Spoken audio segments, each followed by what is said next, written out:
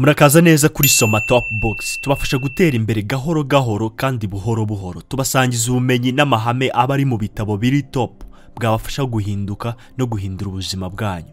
Uyu munsi tugiye kubagezaho igice cya nyuma cy'igitabo how to win friends and influence people cyangwa ni gute nabona inshuti nkanahindura abantu. Komeza ugumane natwe kandi ntiwibagirwe gukora subscribe like na share kuko ari inkunga ikomeye kuri soma top box. Urakoze cyane. Igice cya kane cy'iki gitabo ari na cyo cya nyuma gifite umutwe ugira uti ni gute wahindura umuntu utamukomerekeje cyangwa ngo umutere kugira inzika? Ni igice cyibanda ku mayeri cyangwa tekinike wakoresha mu gihe ushaka nk'urugero guhindura umuntu wakoze amakosa ukabikora utamukomerekeje kandi ukagera ku cyo wifuza. Amayeri ya mbere aragira ati tangira ushimira bikuvuye ku mutima. Niba umuntu afite amakosa cyangwa amafuti yakoze kandi ushaka ko ahi- ayahindura si byiza kuza uhita uyamubwira. Shaka ibyiza akora neza ubundi ubihereho umushimira. Nyuma umubwire ibitagenda bye. Aha abyakira yishimye kandi agahinduka. Amayeri ya kabiri vuga ku makosa cyangwa ku bitagenda by'umuntu mu buryo butaziguye. Ubu ni uburyo ugomba gukoresha niba ushaka kujora cyangwa kunegura umuntu ntakwange wigira uwo unegura by'ako kanya. Mu gitabo Dale Carnegie avuga ku rugero rw'abakozi barimo banywera itabi ahantu hatemewe kandi babizi. Umuyobozi wabo abagezeho n'umutima mwiza buri wese amuha irindi tabi. Arangije arababwira ati byaba byiza murinywereye hanze. Bagiye bishimye kandi bamukunze kuruta uko yari kuza abatonganya ababwira amakosa yabo. Ihame rya gatatu riragira riti mbere y'uko ukosora amakosa y'abandi banza uvuge ku makosa yawe. Ugomba kumenya ko kwemera amakosa yacu bishobora gufasha abandi kwemera amakosa yabo. Niba ushaka ko umuntu amenya neza amakosa yakoze rimwe na rimwe ni byiza gutangira umubwira ayawe. Byaba byiza ukavuga n'uko wayakosoye.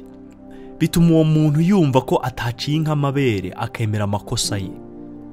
Ihame rya kane rigira riti aho kuza utanga amabwiriza tangira ubaza ibibazo. Ikiremwa muntu aho kiva kikagera ntigikunda umuntu utanga amabwiriza cyangwa amategeko. Ibi ugomba kubizirikana igihe cyose. Abantu bakunda amabwiriza bagize uruhare mu ifatwa ryayo. Aho kuza ubwira umuntu uti kora iki cyangwa jya hariya ni byiza kuza uvuga ngo ese hari icyo bitwaye? Ukoze iki? Ese byashoboka ko ujya hariya? N'ibindi. Kubaza ikibazo ntibihindura ireme ry'amabwiriza ahubwo bituma yubahirizwa n'umutima mwiza. Ihame rya gatanu rigira riti ugomba kwirinda gusebya umuntu cyangwa gutuma isura ye itakara. Biragoye ko umuntu yakwibagirwa umuntu wamusebereje imbere y'abantu benshi agatuma icyubahiro cye gitakara.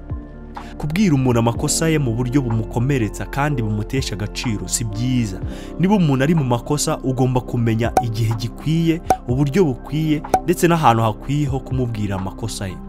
Ntugomba gutuma umuntu yumva ataye agaciro kuko wazamara ubuzima bwawe bwose uri umwanzi we wa mbere. Ihame rya gatandatu riragira riti menya gushimira iterambere umuntu agezeho uko ryaba ringana kose kandi ubikore by'ukuri. Gushimira iteka biruta kujora. Niba umuntu hari icyo yakoze menya gushimira kuko bimutera imbaraga n'umuhate wo gukomeza gukora cyane. Igihe ushimira umuntu ujye ubikora koko bikuvuye ku mutima. Igihe bigaragaye ko ari uburyarya bitangira kugira ingaruka mbi bikagira indi sura itari nziza kandi kuri wowe. Ihame rya karindwi riragira riti umuntu umwita uko ushaka ko aba.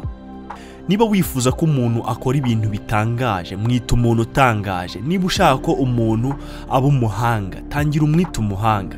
Niba ushaka ko umuntu akora cyane murememo icyizere kandi umufate nk'uwakora ibintu bikomeye. Igikurikiraho ni uko akora ibishoboka byose kugira ngo arinde iyo sura y'uko umufata. Akora ibishoboka byose kugira ngo atazagutenguha ihame rya munani riragira riti kora ku buryo amakosa agaragara nk'aho yoroshye kuyakosora. Nuramuka ubwiye abana bawe abakozi bawe cyangwa abandi bantu ko ari abaswa ibicucu cyangwa abatita ku bintu ku bw'amakosa bakoze. Icyo uzaba ukoze ni ukubaca intege no gutuma bitakariza icyizere.